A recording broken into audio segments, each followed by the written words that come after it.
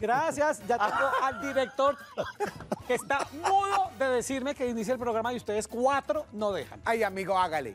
Bueno, señores, vamos a iniciar con un tema que sé que a ustedes les va a interesar bastante porque tiene que ver con la gran actriz Coraima Torres, que se sentó, sí señor, frente a las cámaras de la red a hablar por primera vez de su divorcio. No te lo creo. Después de 24 Nicolás años, Montero. que no es lo mismo. Que no es lo mismo ni es igual. Prácticamente 27 juntos porque Ah. mientras el noviazgo se conocieron trabajando la También me cosa, la vaina. ¿Tú A te los imaginas 27? 27 con, la, con el mismo? Pero Mari, déjame decirte que al igual que tú, creo que también le voy a recomendar que vaya donde un profesional. Vean esto.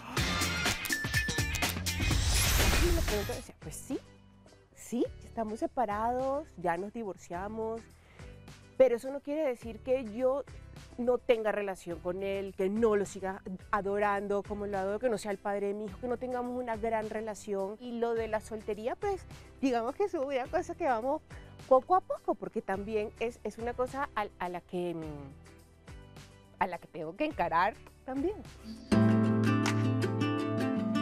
Fueron 25 años de matrimonio. Para enamorarse se necesitan dos. Para separarse también se necesitan dos. Entonces yo no tengo un motivo por el cual decir nos divorciamos por esto, me divorcio.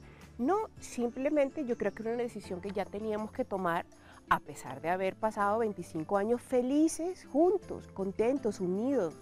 ¿no? Nicolás es, es, muy importante para mí y no dudo que yo también lo sea para él. Pero yo creo que era momento ya, o sea, Nicolás es un bacanzote. O sea, no sabes, o sea, de verdad, puede hacer feliz a cualquier mujer. Puede, o sea, es un premio, de verdad. O sea, la persona que esté con él va a estar feliz. Para Coraima el momento de la separación no fue tan doloroso, pues no terminó de pelea con Nicolás. Sabe perfectamente que él siempre estará para ella. Uno sí puede ser amigo de su ex. Mari, no solamente amigo, yo le dono un riñón a ese hombre. Creo, creo, creo que él no es un ex. Que uno diga, no, mi ex, ni yo soy como una ex. No, estamos muy limpiecitos de sentimientos.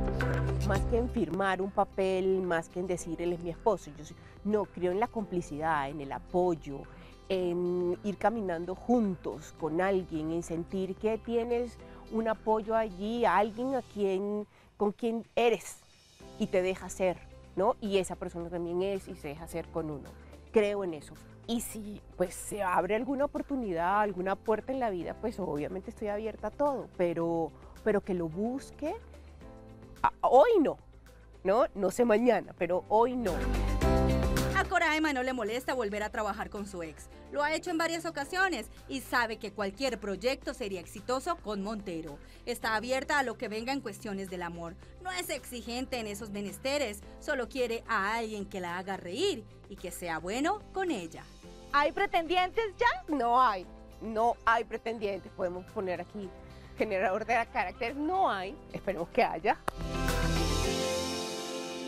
Bueno, Hombre, debo recibir esta amor, nota diciéndole a Coraima que ojo porque la calle está dura.